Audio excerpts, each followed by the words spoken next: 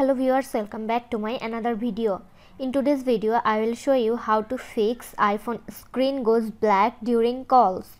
Solution 1 press side or home button. Press the side or home or top button once or twice to wake the screen.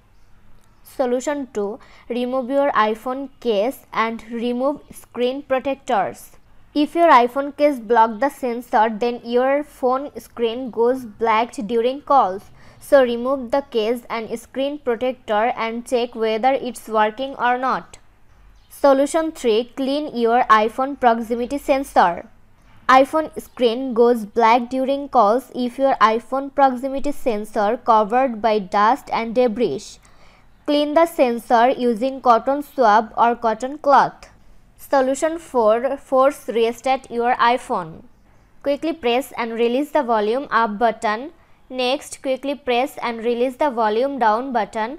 Finally, press and hold the side or power button until you see the Apple logo. Solution 5 Turn off reduce motion. To do this, go to Settings app, find and tap on Accessibility Next find and tap on motion. Now turn off reduce motion. Solution 6 Turn off raise to wake. One of the iPhone users said that after turning off raise to wake, the problem has been fixed. To do this, open Settings app. Next, tap on Display and Brightness. Scroll down to bottom.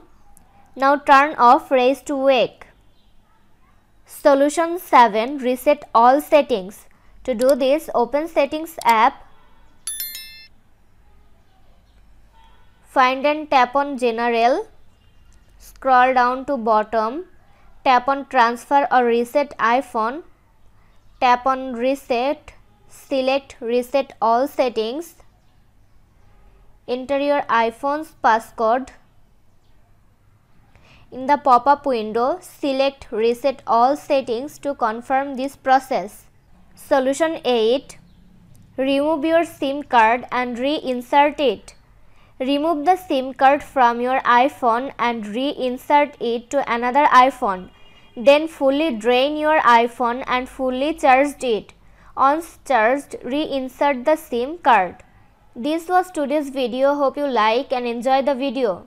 Do like, comment, share and also subscribe to Apple Info YouTube channel.